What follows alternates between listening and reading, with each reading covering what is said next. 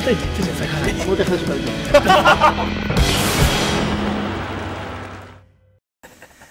くどうもつい。にやってきましたスマッシュ的当て選手権頂上決戦です若干かまなかったよ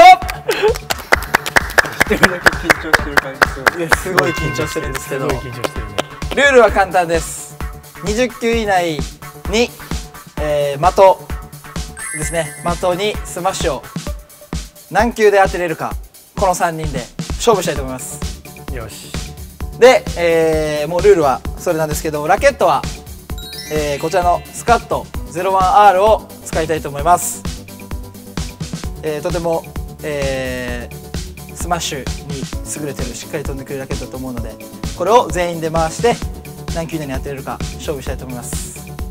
まずは順番は？僕たちいきます。いやいいですよ。じゃあ僕選んでください。俺当てて大津にプレッシャーかけたいから、2番目でいきます。そしたら。した。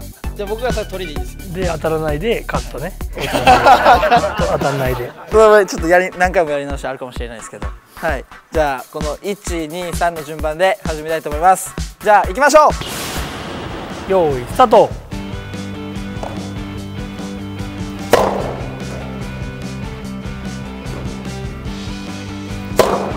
ああめっちゃ中。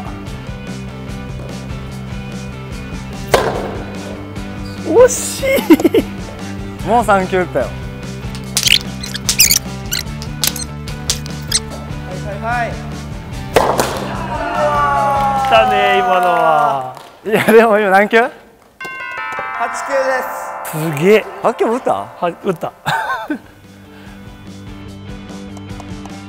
おちゃらけてるな。目標20球以内に当てます。いきます。え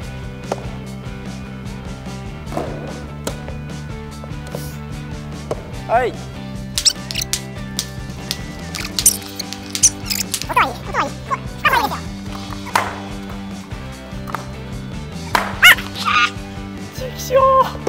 これない。よい。やー嬉しい。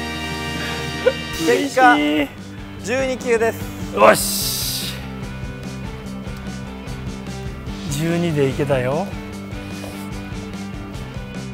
やりました12球でなんとか終わりました嬉しい。です島選手と小林選手に勝ちます。絶対に。はい行きます。頑張ってください。あ緊張してきた。スタート。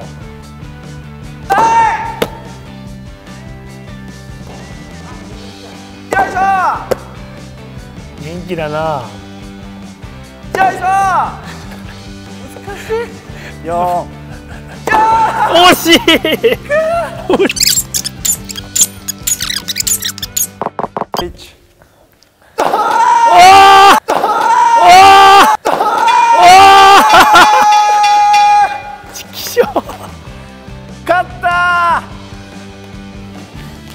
そーやりました。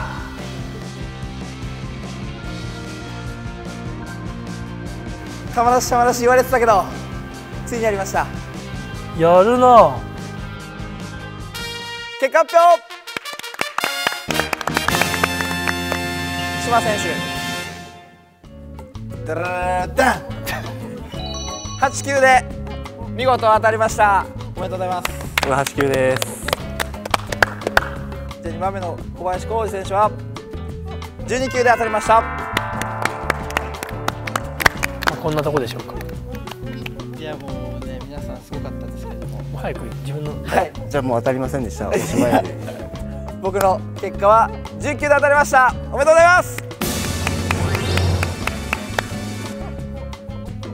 ね。あのー、やっぱ福島選手は勝てなかったですけど小林選手になんと勝つことができました。ありがとうございました。